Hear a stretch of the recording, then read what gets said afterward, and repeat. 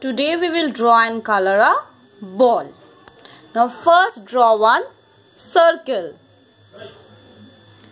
Now inside the circle we will draw another small circle. Now we will draw curved lines. From here one curved line, another here, again one and here one. Four lines. See?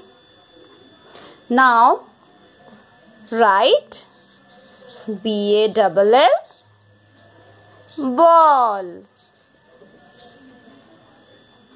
Now color it by yourself.